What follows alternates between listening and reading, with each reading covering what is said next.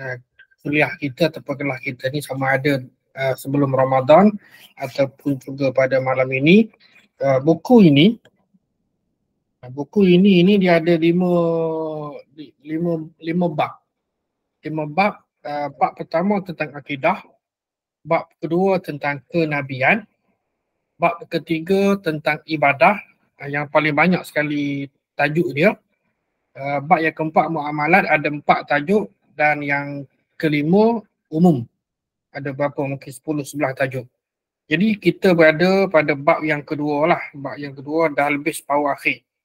Uh, tajuk pada malam ini perempuan ziarah kubur. Muka surat 119 bagi yang ada buku ini. Baik tuan-tuan dan perempuan yang dimuliakan Allah Subhanahu Wa Taala sekalian.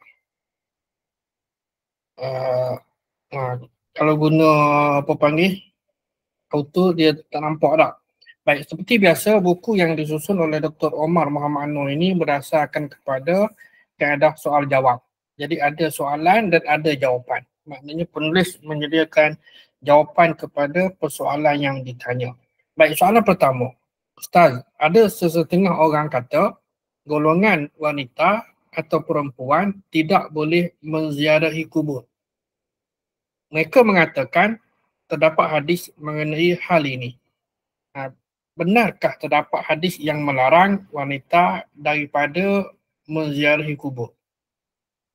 Kalau bahasa kita ni ada orang kata, jadi orang apa orang perempuan tak boleh ziarah kubur. Betul ke ada hadis? Kan? Jadi uh, betul ke ada hadis yang melarang wanita ziarah kubur? Baik, jawapannya ya memang ada hadis Nabi sallallahu alaihi wasallam uh, yang melarang uh, wanita ziarah kubur. Yang melarang wanita ziarah ziarah kubur. Hadis yang ada yang tertera pada skrin ini antaranya ialah riwayat uh, Muhammad bin Juhaidah daripada Saleh.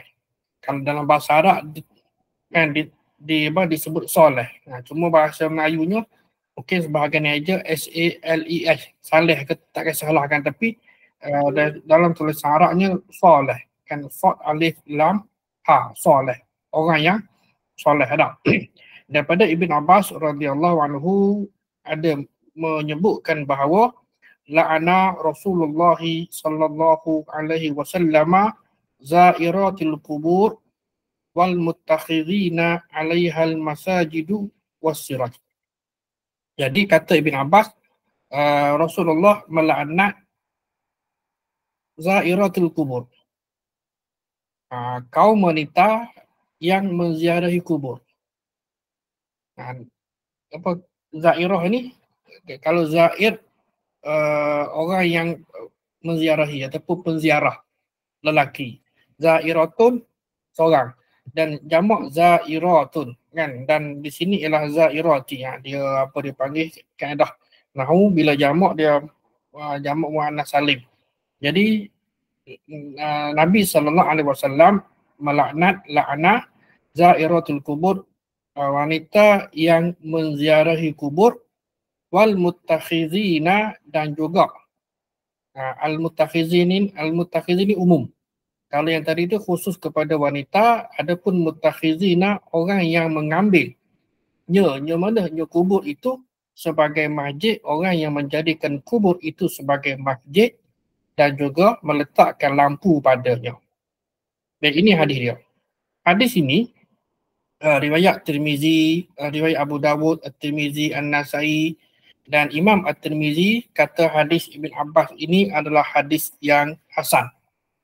Ha. Abu Saleh ini adalah maula. Maula ni kalau bahasa mudah kita ni budak suruhan lah setelah uh, beliau di merdekakan.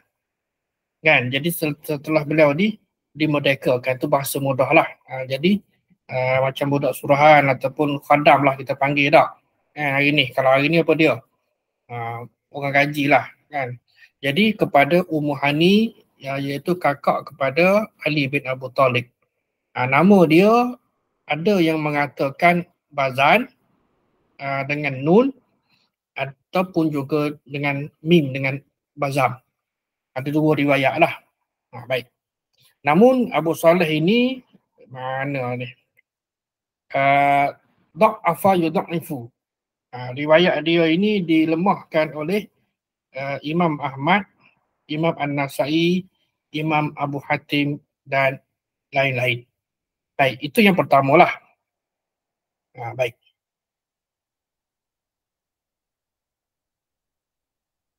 Uh, hadis riwayat misalnya An-Nasai uh, dalam kitab Al-Janais. Dalam kitab Al-Janais uh, dalam apa Sunan Abi Dawud juga dalam Al-Janais uh, dan dalam Sunan At-Tirmizi dalam bab solat dan dalam uh, Sunan Ibnu Majah juga dalam bab Al-Janais. Baik, sanad hadis ini uh, secara keseluruhannya uh, daripada Ibnu Abbas radhiyallahu anhu. Ini tak ada dalam ya tak ada dalam skrin lah. Jadi kalau kita carilah maknanya kita akan dapati bahawa uh, sanad hadis ini uh, keseluruhannya datang daripada Ibn Abbas. Uh, dan Imam Ahmad dalam musnad dia meriwayatkan daripada Yahya dari Syu'bah daripada Muhammad bin uh, Jihadah ataupun Juhaidah. Ini ada sedikit perbezaan lah dari sudut sebutan tadi tu. Daripada Abu Saleh, daripada Ibn Abbas. Dan yang kedua, jalur riwayat Abu Dawud. Uh, kalau daripada Ahmad, yang daripada Ahmad, riwayat Abu Dawud, ini biasalah kalau kita mengaji apa nama hadis ni. Uh, tapi saya rasa kalau, saya tak tahulah kalau rasa orang awam kan tidak perlu pergi detail sangat. Uh, kecuali nak nak satu-satu. Baik, kecuali uh, sorry, uh, dalam apa jalur riwayat Abu Dawud daripada Muhammad bin Kathir daripada Syu'bah. Ha, sama, maknanya dia punya jalur ni ada bertemu ke, ke apa daripada Syu'bah sampai kepada Muhammad bin Juhaidah ataupun uh, bin uh, Jihadah daripada Abu Saleh. Kan daripada Abu Saleh daripada Ibn Abbas. Ha, okey. Adapun uh, bagi Imam Ahmad uh, hadis ni tidak sahih. Uh, bagi Imam Ahmad. Uh, kemudian kata Imam Muslim hadis ini juga tidak sahih. Dan ahli hadis uh, amat ataupun uh, sangat berwaspada dalam menerima hadis riwayat uh, Abu Saleh Bazan.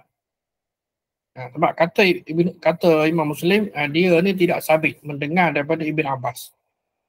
Ha, kan dia tidak sabit mana dia, tidak ada satu uh, apa kita kata evidence lah kan yang menunjukkan bahawa dia ni mendengar uh, sesuatu hadis itu daripada Ibn Abbas mengikut pandangan Imam Muslim. Dan ini disebutkan oleh Ibn Rajab Al-Hambali dalam uh, kitab dia Fathul Bari. Ini pada gambar lah. Jadi mungkin bagi kita ni uh, orang awam mungkin dia mengenali kitab Fathul Bari adalah uh, karangan Ibn Hajar Al-Asqalani. Betul. Kan? Nah, itu yang terkenal. Namun sebelum itu sebelum itu ada uh, kitab judul yang sama dan uh, disebutkan bahawa Ibn Hajar Al-Asqalani pun mengambil idea daripada kitab Ibn Rajab Al-Hambali apa Al-Hambali inilah untuk nak uh, me, apa panggil mengulas ataupun nak syarah uh, Sahih Bukhari dan menamakannya dengan uh, judul yang sama Fathul Bari. Baik.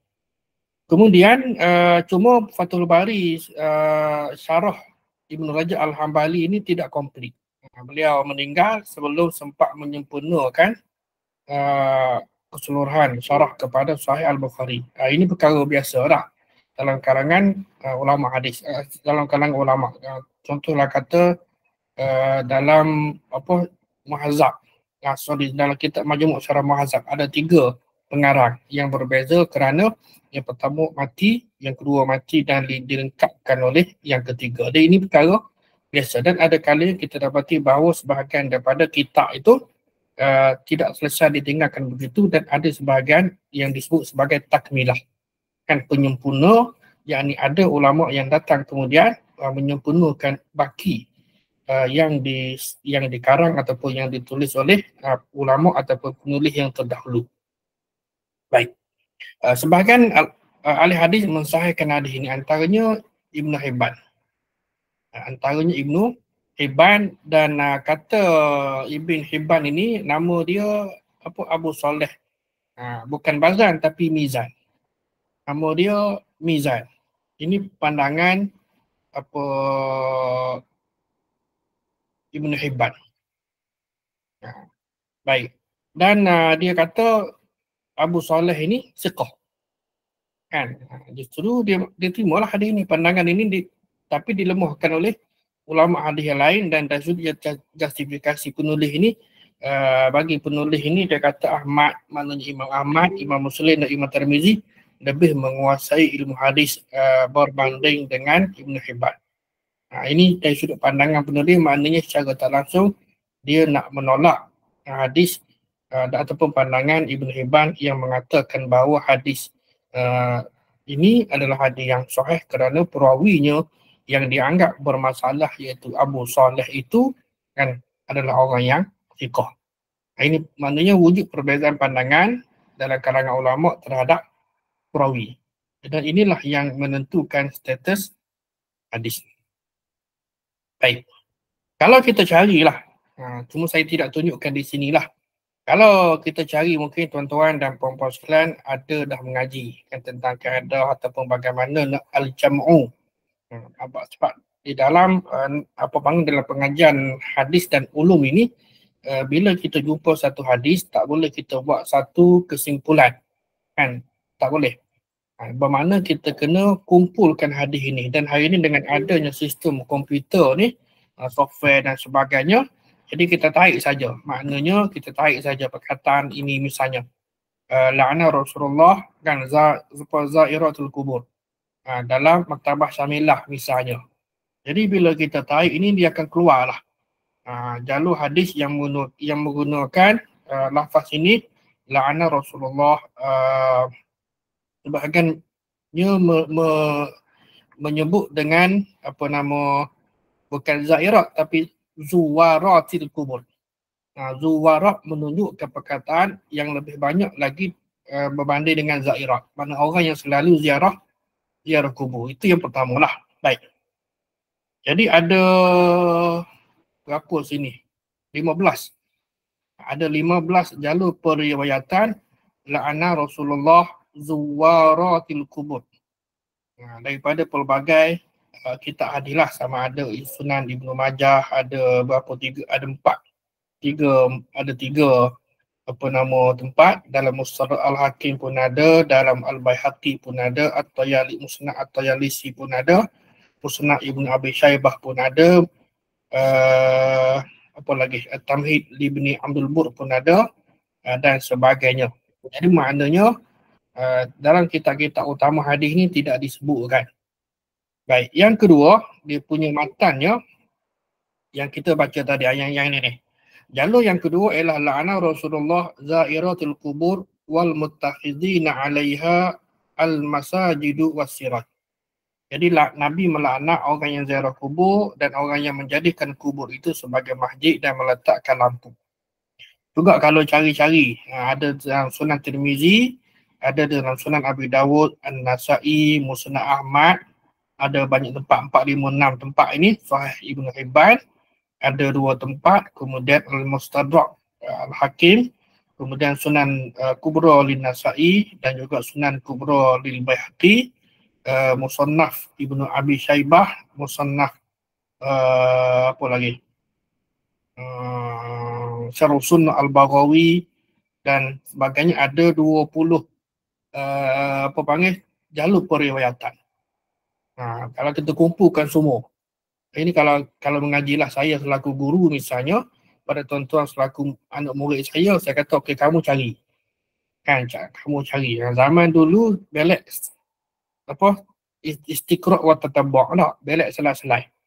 Itu mungkin saya pernah cerita pada tuan-tuan masuk library masa belajar takhrij uh, memang rasa nak termuntah. Pasal apa dengan bau kitabnya dan sebagainya. Dengan hari ini, uh, bila dah ada the software, maka dia lebih mudah. Jadi kita kita pandaikan masyarakat orang awam, walaupun mereka tak reti bahasa Arab, okay, dia belajar sikit-sikit, saya kata, okay, tuan-tuan copy saja perkataan tadi itu paste kan pada software engine pencari uh, maktabah syamilah dan seumpamanya maka dia akan keluarlah sejumlah hadis yang apa disebutkan pada sumber-sumbernya. Ha, kitab sekian musnahnya dengan stadraknya dengan sunannya sekian-sekian. Dan kita pun kopi wak salin dan kita kumpulkan pada satu tempat kan untuk kita nak analisis. Nah, itu cara dia. Jadi hari ini uh, tak ada isu sebenarnya. Jadi uh, analisis sanat tentang laknat ziarah kubur ini daripada Ahmad Tirmizi Ibnu Majah kemudian ada tiga jalur daripada Abu Salamah, daripada Abu Hurairah, Abu Saleh daripada Ibn Abbas dan Abdul Rahman bin Hasan daripada ayah dia, kemudian daripada Abu Dawud dan daripada An-Nasai. Ha, dan sebagainya lah. Baik. Itu itu itu, itu rengkah kan. Ha, kita pergi kepada soalan yang kedua. Ha. Baik, kalau begitu, apa hukum ziarah kubur bagi orang perempuan? Kan? apa hukum? Ha, dia hukum ni hukum lima tak? Kan? Jadi kalau jawapan nak bypass mudah je lah. Saya pun bagi empat saja. Tolak yang wajib. Maknanya ulama berbeza pandangan di dalam menentukan hukum apakah hukum wanita ziarah kubur. Ada yang kata sunat, ada yang kata harus, ada yang kata makruh, ada yang kata haram. Ha, kita tengok. Kan yang tu je. Ha, wajib ada. Kan? Jadi ulama berbeza pandangan ataupun pendapat dalam mengamalkan hadis ini. Ini kerana kandungannya bertentangan dengan hadis Nabi uh, riwayat Buraidah Al-Aslami yang mana Nabi sallallahu alaihi wasallam ada menyebutkan ya inni kuntu nahaitukum an ziyaratil qubur fazuruha fa innaha tuzakkirul akhirah. Baik. Jadi dalam hadis ini juga ada pelbagai riwayat hadis ini. Ha, ada pelbagai riwayat hadis ini kita pun tidak nak bincang detail satu persatu. Ya. Uh, riwayat ini uh, apa nama? Ini kuntu nahaitukum. Ha, sesungguhnya aku telah sebelum ni aku larang kamu ziarah kubur. Namun sekarang okey, fazuruha. Ha, bolehlah ziarah fa'innaha kerana ziarah kubur itu tuzakkirul akhirah dapat mengingatkan uh, yakni kepada akhirah. Baik. Hadis ini juga uh, hadis ini juga ada pelbagai riwayat. Imam Abu Dawud dan An-Nasa'i menambah daripada hadis Anas fa'innaha tuzakkirul akhirah. Kerana ziarah kubur itu dapat mengingatkan akhirat. Sedangkan uh, Imam apa Al-Hakim An-Naisaburi uh, menambah daripada daripada hadis Anas ni uh, dengan dengan apa dengan dengan nafas wa tariqul qalbi uh, dan dapat melembutkan hati watad watad ma'ul ain dan uh, dapat apa panggil mengalirkan ataupun menitih air mata fala taqulu hajra dan jangan kamu berkata-kata dengan kata-kata yang keji. Tiga, itu tambahan. Dan uh, Ibnu Mas'ud pula ada menambah lagi. Uh, dalam riwayat yang lain fa innaha tazhadu fid dunya. Kerana ziarah kubur itu menyebabkan kamu zuhud yakni tidak suka kepada dunia. Dan yang keempatnya ialah uh, dalam apa riwayat Muslim daripada hadis Abu Hurairah radhiyallahu anhu dengan status marfu'. Uh, zurul kubur fa innaha tuzakkirul maut. Ziarahlah kubur kan kerana sesungguhnya ziarah kubur itu dapat mengingatkan kepada kematian. Baik.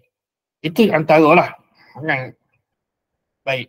Kemudian sebagian ulama berpendapat bahawa hadis Ibn Abbas yang terdahulu hadis yang pertama tadi itu dimasukkan oleh hadis Buraidah. Hadis Buraidah ni. Ha, jadi ada ulama yang mengatakan bahawa yang tadi tu Nabi larang ni kan kerana ada sebab-sebab tertentu dan dimasukkan oleh hadis yang kemudian hadis yang uh, kita baca ni inni kuntu nahaitukum an ziyaratul kubur aku sebelum ni aku ada larang kamu ziarah kubur maka hari ini uh, ziarahlah kerana ziarah kubur itu dapat mengingatkan kepada akhirat baik Uh, oleh sebab itu, oleh sebab hadis Huraidah ni bersifat umum. Ha, sebab kalau kita baca teks ni tuan-tuan.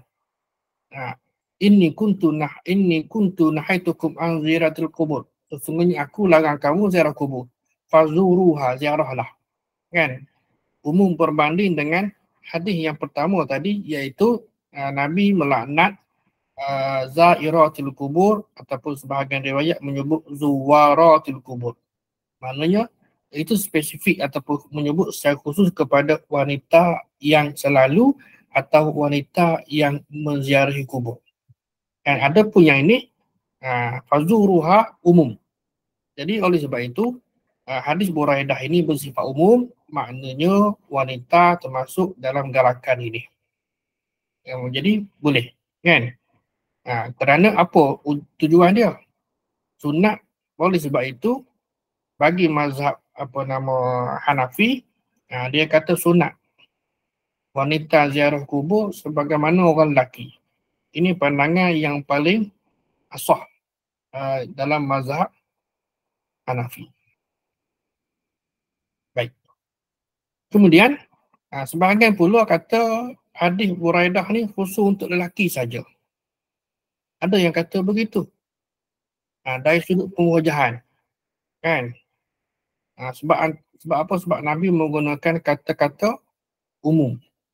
Sebab inilah yang yang uh, kalau kita belajar mungkin tuan-tuan pun ada belajar juga antara nas umum dengan nas yang khusus. Kalau yang pertama tadi zairatul kubur kan uh, wanita yang ziarah kubur memang secara khusus menyebutkan tentang wanita adapun yang kedua ni uh, tidak menyebutkan wanita bermakna dia umum. Jadi uh, yang ini ada yang mengatakan bahawa khusus untuk lelaki sahaja.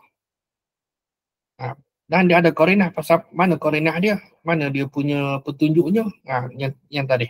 Yang, yang tadi maks maknanya tidak menyebutkan tentang wanita berbanding dengan hadis yang terdahulu. Baik, ucapan Nabi SAW itu tidak berkaitan dengan wanita. Sebab perasaan wanita ni amat halus, ha, orang kata sensitif tak. Kan mudah sedih, justru ziarah kubur tetap dilarang bagi kaum wanita, larangan tersebut makruh. Yang larangan tersebut makruh mengikut kebanyakan ulama. Baik. Jadi yang pertama tadi hukum sunnah mengikut Hanafi. Kan? uh, mengikut mazhab Hambali dia kata makruh ziarah kubur bagi kaum wanita. Jika berlaku perkara yang diharamkan dalam ziarah tadi, hukumnya haram. Apa benda yang haram dalam ziarah tadi tuan-tuan? Asasnya, kalau kita kata makruh lah contohlah ataupun pandangan yang kedua kata harus. Yang ketiga lah sunat bagi Hanafi, yang Maliki kata makruh. Eh, harus bagi Syafi'i lah. Baik. Ha. Jadi apa dia punya syarat-syarat dia? Kan? Ha. Jika berlaku perkara yang diharamkan dalam ziarah tadi, maka hukumnya daripada makruh ni menjadi haram. Ha. Dia asal makruh bagi mazhab hambali. Apa yang makruh tu? Yang makruhnya ialah ha, seperti berpakaian menarik. Di sini. Kan berpakaian menarik. Ha, menarik ini tak tak kira lah sama ada tuan-tuan ziarah pada hari raya kan bagi orang lelaki rasa tak ada tak ada isu pula cuma kita bincang tentang wanita ha, wanita ni dari sudut huruf adat dan tradisi orang Arab kan uh, mereka biasanya uh, pakai jubah yang wanita pun pakai jubah hitam kan kalau secara tradisi lah ha, zaman moden uh, pakai macam-macam. Jadi uh, jadi pakaian yang wanita tadi tu pakai ke kubur ni, dia pakai apa? Kan kalau hanya sekadar pakai jubah hitam, tak ada isu. Ha, tak. Kalau pakai yang ranggi, ha, contohlah yang yang berlaku mungkin lah. Yang berlaku uh, setengah orang kita kita kata dalam konteks kita lah di Malaysia ni kan uh, orang perempuan yang orang lelaki tak ada isu eh orang perempuan ha, bila pakai pakaian yang yang tidak sempurna sifatnya. Ha, dia macam-macam lah wanita ni. Kan? Yang faham-faham lah ada, ada, ada yang tidak. Yang tahu batas aurat bila dia pergi ke kubur yang jenis tak tutup aurat ni dia pakai selenan tahu tahu pula dia. Kan walaupun dia tak pakai tudung lah kata tak, so, tak pakai telekung lah dia tutup lah rambut lah kan ada lah jambu ke depan tu. Ha, paling tidak pun dia tahu. Ha, cuma mungkin atas dasar tak kira lah degil ke uh, kan dan sebagainya dia tak nak tutup aurat walau dia tahu akan kewajipan uh, menutup arak bagi muslim, apa bagi muslimat. Ataupun juga berwangi-wangian. Ha, tak kira lah jenama apa, perfume cap apa ni. Kan? Ha, yang bau kerah ke bau lembut ke justru kan wanita ni dilarang daripada menggunakan apa nama air bau perfume. Kena hati-hati. Kalau benda tadi tu asalnya makruh lah kalau kita berpegang kepada makruh sebagaimana mazhab hambali tadi dia, dia boleh jadi haram kerana uh, sifat yang mendatang. Kan ini sifat yang mendatang walha tak ada. Ataupun juga yang jenis uh, raw meratap di kubur. Ha, di Malaysia saya rasa tak ada.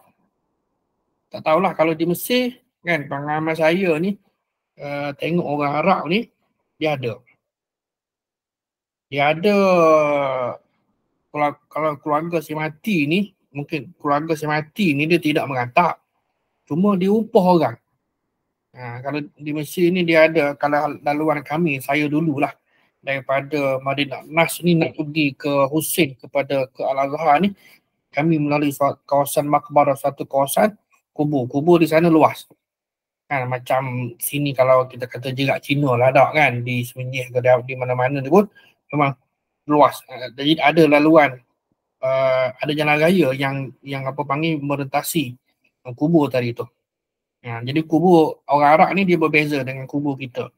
Dia buat macam blok-blok bangunan dan uh, jenazah itu di apa nak ke bumi dia akan di, di apa panggil buat turun dan akan simpan. Dia tak dia tak kambuh macam kita tak dia tak kambuh dengan tanah basah faktor mungkinlah uh, struktur muka bumi dan sebagainya. Jadi diletak dalam dalam tempat dia dalam liang lahat okey. Uh, ditutup dengan kayu biasa kemudian dah naik daripada atas. Mana tutup yang atas? Jadi certain masa kan uh, apa mungkin dia adalah dia punya putaran tadi tu berapa berapa apa bila, bila nak bumi jenazah yang baru ni akan kuih-kuih uh, apa uh, tulang tadi tu yang ke tepi itu yang yang berlaku lah uh. jadi di Malaysia lain isu tak oleh sebab itu di negara Arab dia tak ada isu tanah kubur. Di Malaysia sehingga akan timbul idea untuk buat kubur bertingkat tak. Ha, kerana sentimen orang Nusantara ni, sentimen orang Melayu ni nak tengok juga kubur, nak ziarah kubur juga. Ha, ada kebaikan di sebalik, di sebalik itu. Baik.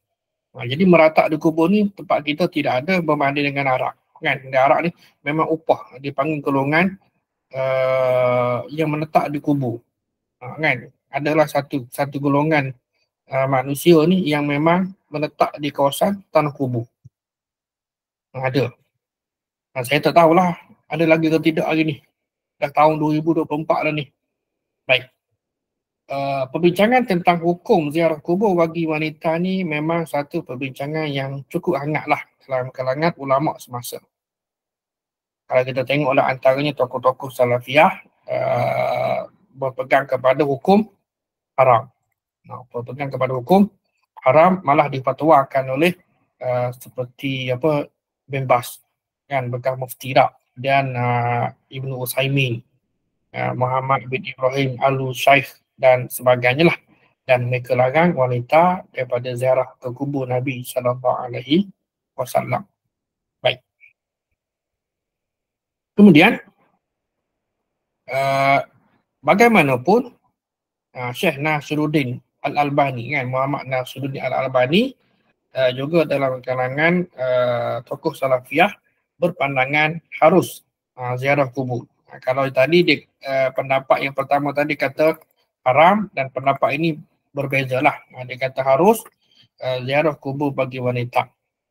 Uh, menurutnya hadis yang melarang telah dimasukkan justru tidak ada dalil khusus yang melarang atau menegah wanita ziarah ke kubur. Ha, jadi bila tidak ada dalil, ha, kita kena faham bahawa ini masuk dalam perkara muamalat dan bukan perkara ibadat. Jadi perkara muamalat boleh buat apa saja selagi tidak ada dalil yang mengharamkannya. Kan? Bandingkan dengan ibadah tak boleh buat kecuali ada dalil yang mensyariatkannya. Okey, clear. Jadi berbeza pandangan lah dalam kalangan ulama apa nama di Saudi pun ada yang kata haram dan ada yang kata harus. Kan? Jadi mungkin sebahagian kita ni uh, yang jenis yang jenis jalur keras okey dia kata haram. Yang jenis uh, mutawasid yang sederhana okey dia kata harus. Baik. Baik. Uh, bagaimana pula dengan ulama tradisional? Nah, kita tengoklah sama ada di Timur Tengah ataupun juga uh, di tempat kita sendiri ataupun di Mesir. Okay, uh, mereka berpegang kepada hukumnya harus uh, ziarah kubur bagi wanita apabila mereka jaga uh, adat sopan. Dengan syarat kena jaga adat sopan. Baik, ini pandangan uh, Syekh Hasanain. Kan, Hasanain dia panggil. Bukan Hasan, Hasanain. Hasan ni Muhammad Makhluf ini bekas uh, mufti Mesir dulu dua kali dia pernah jadi mufti saya pun tak ingat lah bila tahun 50-an tu kan Syekh Hasanain uh, Makhluf kemudian uh, Dr. Abdul ha- Dr. Abdul Halim Mahmud ini juga uh, bekas uh, Rais Jami Azhar uh, dan Syekh Mutawali Al-Sya'rawi uh, ini juga ulama Mesir uh, yang agak kontroversi lah saya sempat dengan dia masa belajar di Mesir dulu ada pandangan ada kalanya pandangan yang dikemukakan oleh Syekh Asyarawi ini agak kontroversi itu perkara biasa kan jadi dalam hal ini dia kata harus begitu juga dengan Syekh Bakhid kan Syekh Bakhid Al-Muti'i uh, berpendapat bahawa ziarah kubur adalah sunat bagi lelaki dan wanita. Ha, dia kata sunat. Ini pendapat Syekh Bakhid kan dia kata sunat. Maknanya di sini kita jumpa ada empat adat. Yang pertama makruh tadi. Ya, makruh mazhab ha- Hanafi, kemudian uh, mazhab Hambali. Ni. Ada yang kata harus dan juga haram. Kemudian uh, sunat. Uh, ni uh, bagi mazhab Syafi'i ni, kan? Dan uh, bagi lelaki dan wanita dan pada masa yang sama uh, Syekh Atiyah Sakot uh, cenderung kepada hukum makruh. Jadi di sini ada empat hukum. Ha, tuan-tuan nak pegang hak mana? Ha, mana muslimat sini? Ha, puan-puan nak pegang hak mana? Ha, kan? Ha, jadi sudah tentulah kita akan pegang kepada yang harus sudah. Contoh kan kerana dia memudahkan kita. Kan? Kalau kita pegang kepada haram, mak maknanya orang perempuan tak boleh jarang kubur lah. Ha, kan? Ataupun pegang kepada sunat. Ha, kerana ada anjuran tujuannya adalah untuk nak mengingat kepada kematian. Baik. Kemudian uh, kita kita dapati uh, pandangan-pandangan ini kan ada empat pandangan tak. Uh, semua apa nama nama-nama semua nama yang disebutkan tadi itu itu sekadar contohlah. Adalah orang yang alim ya dan warak. Jadi kita pulang kepada kita. Ha, kita nak pilih yang mana? Eh, nak pilih yang yang mana? Namun ha, di sini ha, kita share sikit kalau wanita itu dibenarkan ke ke apa ke ke kubur ziarah kubur ha, dia kena patuh beberapa syarat pertama tutup aurat dengan sempurna penutup aurat dengan sempurna yang ni clear bagi mas- kebanyakan masyarakat tak ada masalah. Kan? Uh, mereka biasanya kalau kita ni uh, apa pakai yang tak bertudung pakai selendang itu tak sempurna. Kan? Uh, yang pakai seluar macam mana? Yang pakai seluar asalkan dia tidak mem, apa panggil menampakkan susuk tubuh boleh. Kan? Tak, tak ada masalah. Kan? Uh, jadi pandai-pandailah asalkan uh, dia memahami konsep uh, menutup aurat dengan sempurna. Kalau tak, maka hukumnya kalau kita kata yang harus tadi tu dia boleh bertukar menjadi haram. Yang kedua, menjaga pergaulan antara lelaki dan perempuan. Ha, dia tengok kepada keadaan. Contohlah kata kalau satu dua family pergi tak ada masalah kan. Contoh yang ramai bila. Ha, biasa masyarakat kita ni uh, hari raya di, di ziarah kubur. Sebab apa orang ziarah kubur hari raya? Ada hadis ke? Dah hadis ke? Tak ada. Yang tidak ada hadis yang menganjurkan untuk ziarah kubur pada hari raya ataupun selepas solat Idul Fitri. Tak ada. Jadi, ha, timbul isu baru ni. Kan? Boleh tak boleh? Terpulanglah. Kan? Cuma bagi saya ziarah orang hidup itu lebih utama, lebih penting daripada ziarah orang mati. Orang mati duduk situ tak ke, tak ke mana dah. Kan? Cuma dia menjadi kelaziman masyarakat kita. Ha, dan oleh sebab itu juga kita dapati dulu-dulu lah secara tradisinya sebahagian kubur itu berada di sebelah masjid. Tuan-tuan berhati tengok. Kan saya ingat kata contoh lah kata saya balik ke baru saya pergi solat di masjid uh, apa eh Raja Rambai. Jadi tak tahu punya sebelum kubur sebelum masjid tu ada kubur. Jemaah cerita. Kan jemaah cerita. Antara lah mana lagi. Kalau masjid ataupun surau di uh, kampung kedemik ke uh, wakaf baru. Kan sebelah tu ada surau. Uh, yang saya rasanya tengok kubur dulu sebab saya, sebab saya membesar kawasan tu. Dulu surau ni kecil je kan jadi dibina sehingga dah uh, dua dua tingkat. Uh, jadi kita nampak bahawa uh, antara surau ataupun masjid ini uh, dengan orang Melayu ni okay, dia mesra dengan kubur dan satu sudut ada logiknya kerana memudahkan. Kan? Ada pro and con lah. Uh, baik. Uh, yang ketiganya ialah uh, tidak buat bising. Nah, sebab ada orang, nah ini terutama hari raya. Kalau hari biasa ni saya tak pastilah tapi saya saya kira kebanyakannya yang bawa anak cucu pun biasa under control. Nah, kecuali yang tak dapat kontrol itu mungkin agak agak apa apa panggil uh, janggal lah kan? Uh, di luar kawalan tapi secara lazimnya yang kalau bawa ke kubur ni sama ada berlaku pada hari kematian ataupun juga selepas kematian. Kan? Setelah sekian lama pun ha, ni saya katalah orang yang balik yang perantau ke balik kampung bang ni pergi ziarah kubur. Sama ada dalam di hujung Ramadan ataupun juga pada pagi raya ke pada selepas raya ke apa ke dengan bawa family-nya sekali kan dengan anak cucu dan sebagainya. Jadi budak-budak pun meraung kan. Yalah menjerit kan dan sebagainya kan. Itu peringkat budak. Satu hal. Yang keduanya ialah uh, yang tadi dia datapan uh, datapan memang tidak berlaku tempat kita. Berbanding dengan orang Arab. Cuma berlaku juga isu baru ni. Uh, tuan-tuan tengok uh, sebahagian daripada golongan remaja. Yang bercakap-cakap dengan batu nisan. Kan mak dia ke ayah dia ke kan? Perasan tak? Jadi seolah-olah Kan bila dia bercakap macam ni, dia ceritalah macam-macam apa yang dia, kehidupan dia ni. Dapat baju baru ke apa benda lah kan cerita pada ayah dia yang dah mati. Ha, jadi sedangkan benda ni tidak disyariatkan pun. Sebegitu. Kan benda ni tular juga seketika kan tuan parti tengok. Dan benda ni kalau tidak di, dijaga, di, dibanteras oleh pihak berkuasa agama, dia akan tersebar. Cuma, ha, kan, tidak tersebar kepada kita ni golongan tua. Dewasa tak? Kan? Ha, tuan-tuan tengok tak TikTok? Saya tak tengok. Ha, kalau tuan-tuan tengok TikTok mungkinlah kan? Jadi budak-budak remaja ni dia lebih familiar dengan dengan TikTok macam-macam. Ha, kita tak tengok ataupun media sosial pun ha, jangan-jangan. Jadi apa yang berlaku dalam dunia mereka kita tak tahu. Walau dunia mereka, mereka ni dalam konteks uh, tadilah ziarah kubur mungkin dia akan share pula yang budak remaja ni dia share pula eh aku pergi ziarah kubur lah bapak aku.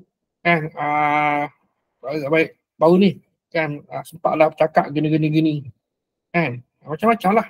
Nah, tuan-tuan tengok jadi benda ni kalau tidak dibendung tidak diberikan penjelasan pencerahan oleh pihak berkuasa agama dia akan membarah kan kita tak nampak kerana kita tak tahu baik Kemudian uh, bukan dalam edah. Ini yang wanita. Uh, saya dia diingatkan juga bahawa uh, bagi wanita ni, uh, ini pun uh, orang dah maklum dah, orang dah share dah dalam WhatsApp group, dalam apa dalam media sosial dan sebagainya. Apabila berlaku kematian, uh, balu si mati itu kan, uh, dia dah jadi dah jadi balu, Maknanya uh, dia dalam edah. Bila dalam edah ni uh, tak boleh dia follow jenazah suami dia ke tanah kuburan. Walaupun orang tengok tu tak kira siapa lah. Ha, bini Tok Guru pun ikut kan. Ha, siapa-siapa-siapa kita nak kata apa. Kan? Ha, jadi masyarakat melihat, masyarakat memandang. Ha, kan? Jadi bukan dalam edah. Kalau apa uh, bila dah habis edah boleh.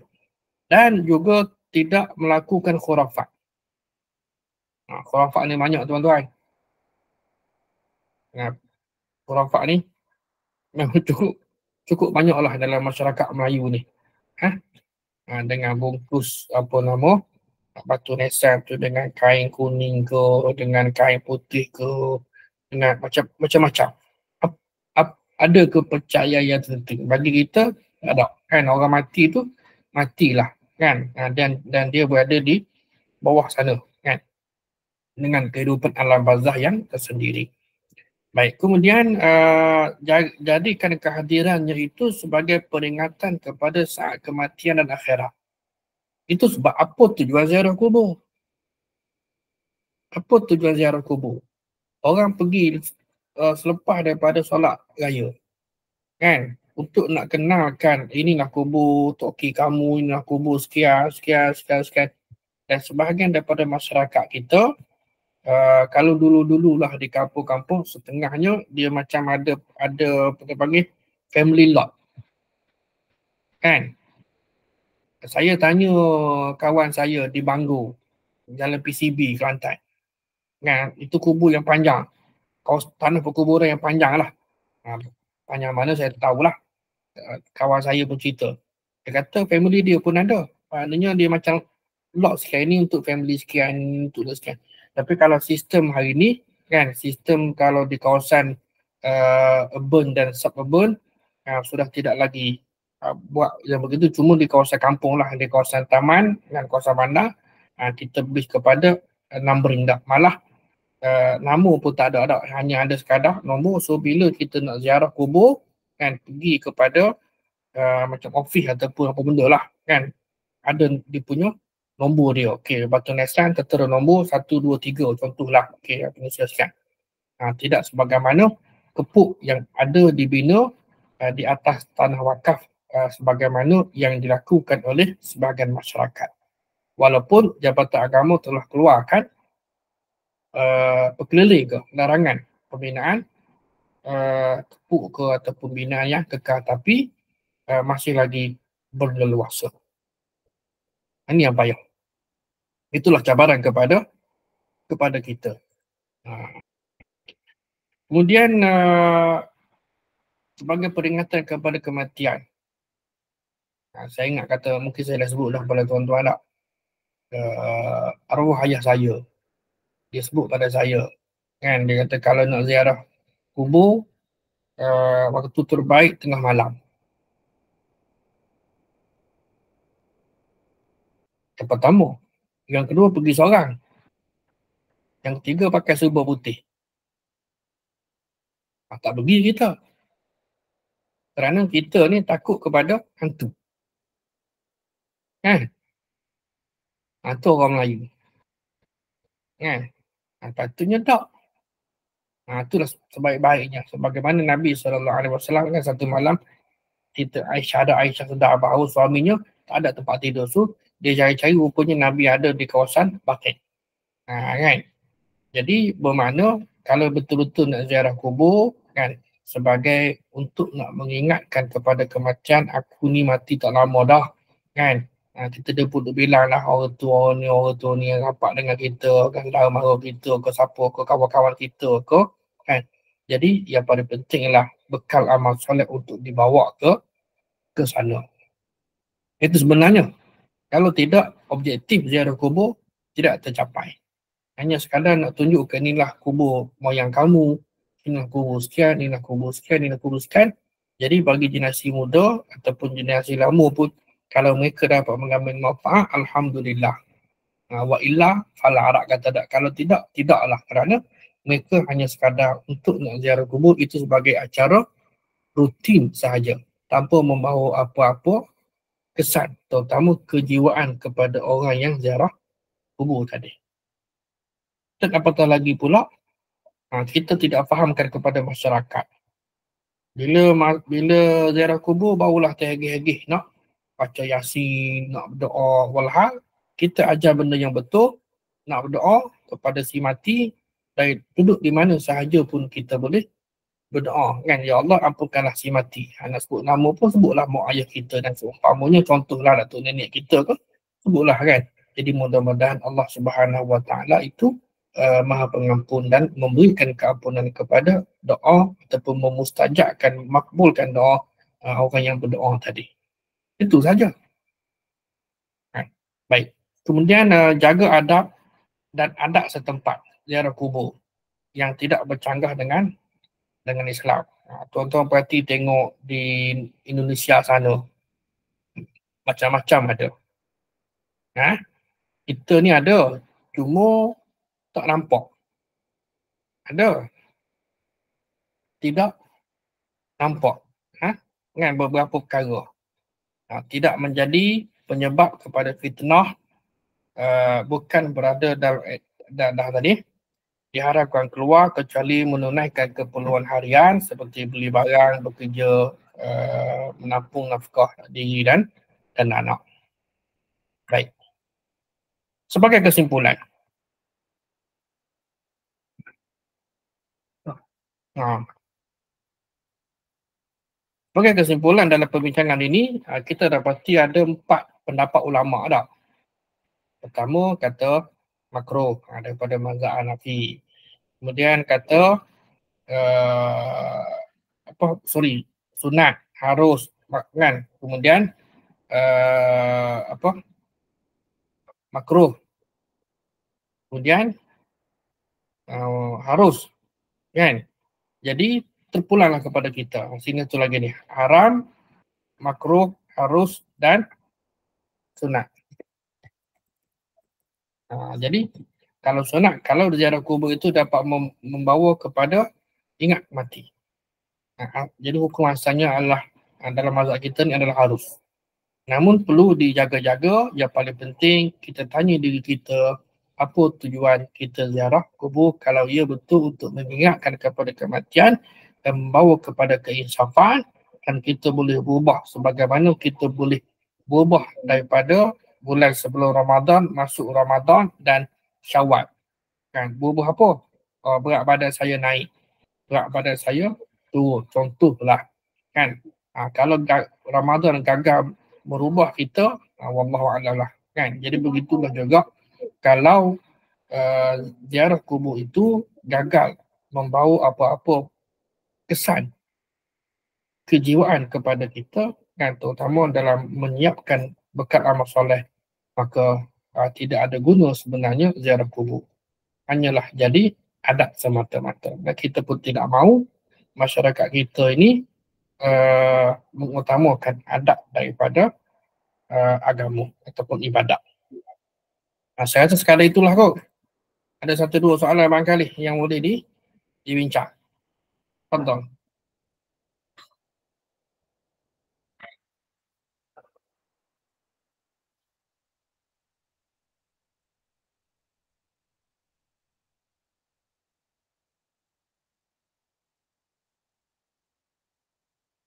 Biasa ada Cik Rozi.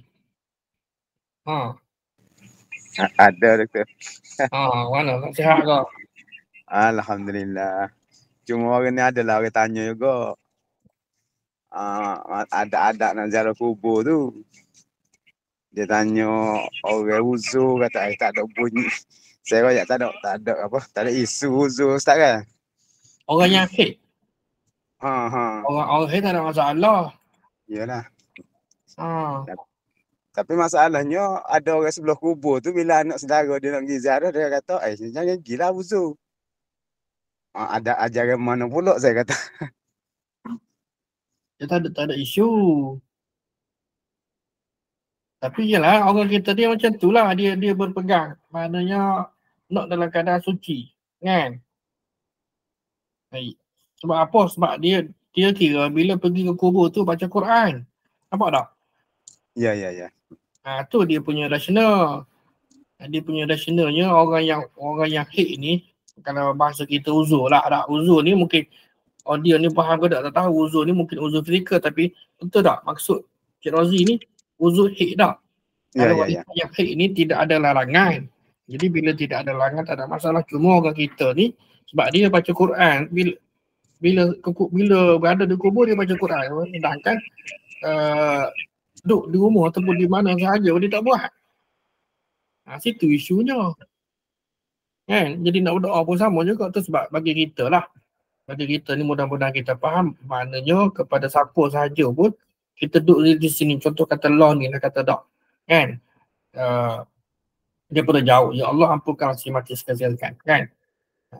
Cuma dia ada special lah ziarah kubur ni kan bagaimana Aisyah kata okey Nabi ajak uh, suruh bagi salam dulu kan ada ucapan salam tak kan uh, Assalamualaikum kan wahai ahli kubur tak insyaAllah kami akan menyusul uh, kan kurang macam itulah tak uh, jadi bermakna uh, dia kita bagi salam kita doakan kesejahteraan adapun kita lah ni daripada kejauhan uh, tidak dituntut untuk bagi salam sebab kita berada jauh daripada kubur Kan? Jadi kita dituntut untuk berdoa mohon keampunan kepada ahli kubur. Kita tak kira siapa lah. Kan? Benda ni mudah je. Ha, walaupun kita tak kenal lah kata kan terutamanya. Ha, bisa kata law ni. Kecuali uh, biasa yang saya buat lah. Contohlah kata kalau tempat saya ni uh, tepi jalan dekat traffic light beranang tu dia ada kubur sebelah, sebelah, sebelah kiri kalau daripada Pekan Beranang tu Mantri border Negeri Sembilan nak ke Semenyih dia ada dekat traffic letter ada kubur beranang. Jadi bila situ maknanya kalau kita, kita lalu sama ada kita berhenti pada traffic light atau tidak bila kita lalu kita bagi salam lah kan dan juga doa. Ha, doa keampunan kepada semua ahli kubur. Itu saja. Tak? Doa kau Melayu lah. Ha, saya mudah lah cari saya prinsip saya Kan kalau tuan-tuan tak boleh berdoa dalam bahasa Arab, maka berdoalah dalam bahasa Melayu. Itu saja. Jangan kerana kita tak boleh berdoa dalam bahasa Arab, akhirnya kita tidak berdoa tak. Ha, kalau kata Aisyah tadi kan, Aisyah tanya, kaifan akul kita slim al kubur. Jadi, uh, apa? Aisyah tanya, bagaimana nak bagi salam kepada uh, ahli kubur ni? Nabi ajar, Assalamualaikum, apa? Assalamu ala ahli dayat. Kan? Ha, kalau bagi kita ni, uh, tak boleh ke Arab pun, Assalamualaikum wahai penghuni kubur. Ya, sama lah tu. Kan? Minal, mu, minal mu'mini wal muslimin. Uh, kalau bahasa kita lah, Assalamualaikum wahai penghuni kubur. Boleh tak? Boleh lah. Kan? Jadi apakah mereka mendengar? Ya, cuma mereka tak boleh nak jawab. Kemudian, yarhamullah al-mustaqdimin minna. Semoga Allah merahmati orang yang terdahulu daripada kita wal mustakhirin dan juga orang yang kemudian wa inna insyaallahu bikum uh, lahiqun. Mana kita dan kami akan menyusul. Itu saja. Ha, kan? Jadi doalah. Ha, kalau yang sebaik-baiknya dalam bahasa Arab dan tak boleh, ha, doalah dalam bahasa ibunda kita. Mudah-mudahan orang yang uh, tempat kita lalu tadi kubur tempat kita lalu tadi itu beroleh keampunan daripada Allah Subhanahu Wa Taala. Ha, jangan tanya berapa banyak. Tak, yang penting kerja kita kita buat. Kan? Tanggungjawab kita kita buat. Mohon ampun dan Allah ini Allah Subhanahu Wa Taala uh, Maha Pengampun. Uh, dia tunggu saja siapa yang minta insya-Allah dia akan bagi. Cuma kita tak tahu uh, berapa banyak yang dia bagi. Macam puasa sunat lah. Tak, hari ni 13. Esok 14, lusa 15. Ada. Kan? Jadi siapa yang puasa sunat pada hari putih, insyaAllah dia akan dapat ganjaran sebagai puasa setahun ke. Kan? Cuma kita tak nampak dari sudut ganjaran. Kalau tuan-tuan bekerja, okay, tuan-tuan bekerja tiga hari, kan? Tuan-tuan akan dapat gaji setahun. Eh, biar betul. Macam orang yang puasa enam lah. Kan? Puasa enam hari, ibarat kata kita tukar kepada dalam bentuk kerja kamu kerja enam hari, aku bayar gaji sebulan. Ha, aku bayar gaji setahun tak? Sudah tentu orang akan kerja enam hari tadi untuk dapat habuan gaji setahun. Tapi ramai mana orang yang kisah. Kerana mereka tak nampak. Kan? Mereka tak nampak akan jaminan ataupun juga janji Allah Subhanahu Wa Taala sebagaimana yang disabdakan oleh Nabi sallallahu alaihi wasallam dalam isu uh, fadilat puasa 6 dan juga fadilat puasa uh, 3 hari uh, pada hari putih. Wallahu a'lam. Hukum baca Quran ni kubur tu setara mana Ustaz? No. Baca Quran yang macam mana? Dia dia ada benda-benda benda-benda yang apa dia panggil isu juga ni. Kan? Kalau di, biasa kan orang kita baca Yasin gitulah. Yalah benda ni ada perbezaan pandangan lah. Kan? Uh, ada perbezaan pandangan kerana bertitik tolak daripada sampai atau tidak sampai pahala bacaan Al-Quran itu kepada si mati. Tak? Ada dua pendapat lah kan. Pendapat Imam Syafi'i kata tidak sampai. Manakala pendapat yang lain kata kata sampai. So terpulanglah. Kan? Ha, terpulanglah kepada orang tadi.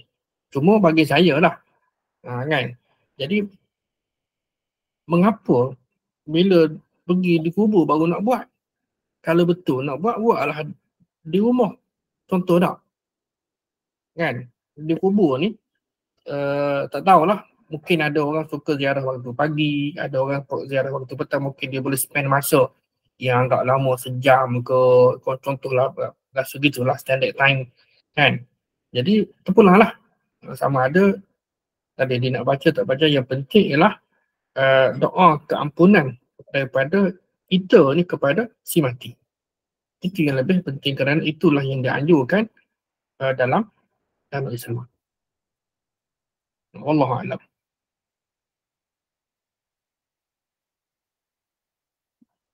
Ha, ada soal, soalan ni. Ha, ni cantik soalan ni.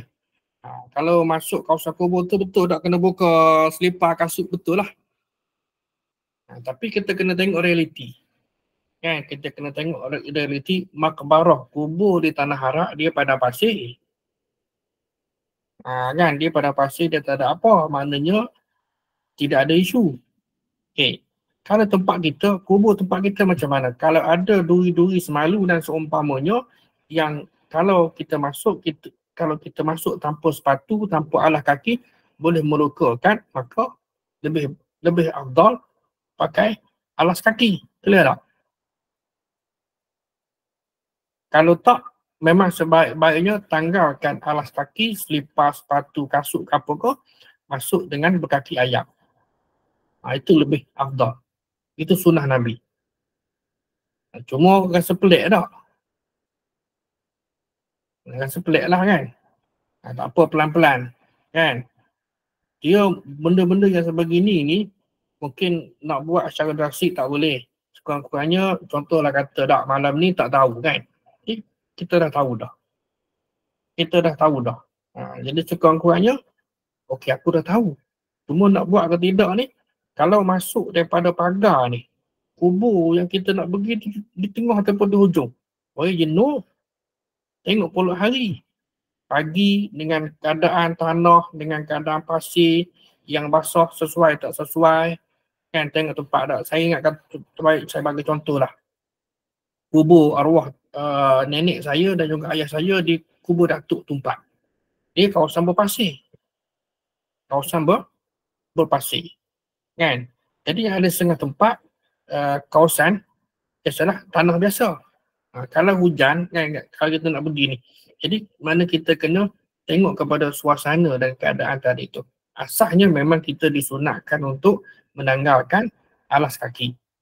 Tapi kalau alas kaki itu boleh apa apa panggil memudaratkan dan seumpamanya maka uh, rukhsah tadi itu uh, kita boleh apa nama ignore lah. Jelah. Itu saja. Cara kubur perlu berdiri. Duduk. Nabi larang duduk. Atau kubur. Nah, jadi bila bila Nabi larang duduk atas kubur ni, terutama kita tengok juga dari sudut realiti larangan duduk atas kubur ni okay, zaman hari ni di Malaysia kan ada kepuk kita pun duduk atas kepuk kubur orang sebelah contoh kata tak itu pun tak boleh kan kalau pada zaman Nabi ni sendiri kan zaman awal Islam kubur hanya ada satu ketul batu sahaja. Jadi habis nak duduk kat mana? Duduk antara tu pun. Ha, sebab baiknya tidak. Itu sebab uh, tidak disunatkan untuk duduk. Kena berdiri lah. Kan? Kalau nak berdoa, berdiri, itu saja. Cuma tadilah uh, dia dia benda ni amalan masyarakat berzaman dah pelan-pelan lah. Uh, ada buat bangku tak? Kan ada, saya pun tengok kemarin. Orang sahabat saya, kan, dia pergi balik kampung ziarah kubur mak dia. Saya pun tengok, eh ada bangku sebelah tu. Ha, bangku tu tak boleh sebenarnya kerana membina binaan di atas tanah wakaf. Itu sebab pihak Jabatan Agama dia pun larang bina kepuk. Kan, dan juga sebarang bentuk binaan dekat atas tanah wakaf. Haram. Ha, tapi benda macam ni, macam ni payah sebab kita ni syarat dengan sentimen. Pelan-pelan lah. Kan, tak semudah tu. Sebab kata nak tarik rambut dalam tepung ni, payah selerak.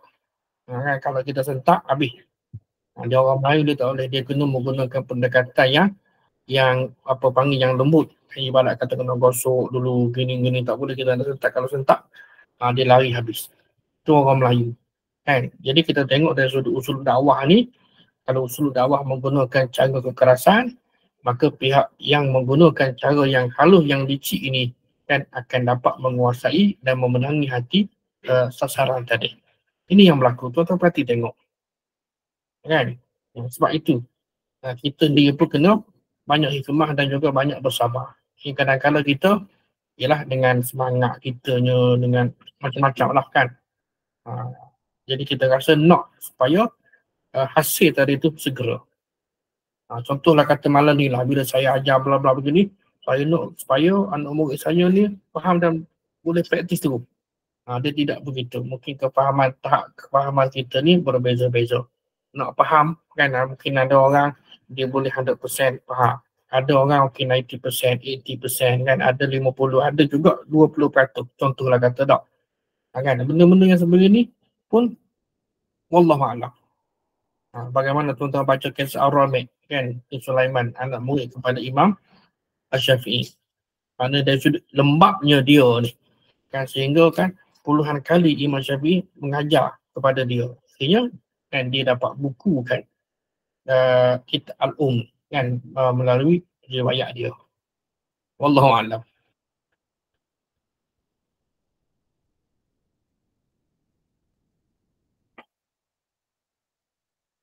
Jadi saya kira sekadar itulah kot mudah-mudahan apa yang disampaikan sedikit banyak pada malam ini ada manfaatnya. Jadi yang penting ialah dalam konteks uh, kita berinteraksi ini uh, sebagai kesimpulan lah uh, kepada perbincangan kita sekali lagi pada malam ini. Mana, mana kita ambil stand apa? Kalau kita mengambil stand harus kan? Uh, jangan kita men, nak menidakkan pendapat yang lain. Mungkin uh, ada kawan kita dia kata haram kan dia berpegang kepada haram yang berpegang kepada makro yang berpegang kepada sunnah kan uh, kerana saya berpegang kepada harus contoh kan kalau saya berpegang kepada haram uh, kita kena respect juga orang lain yang berpegang kepada tiga hukum tadi yang pasti dalam isu ini ialah kita sentiasa mohon keampunan kepada mereka yang ada di kubur sana terutama dalam kalangan ahli keluarga kita yang terdekat. Wallahualam. Jadi kita tangguhkan majlis ilmu kita ini. Uh, aku lepas haza. Astagfirullahalazim li walakum. Wassalamualaikum warahmatullahi wabarakatuh. Kita tangguhkan dengan uh, tasbih kafarah dan suratul asr.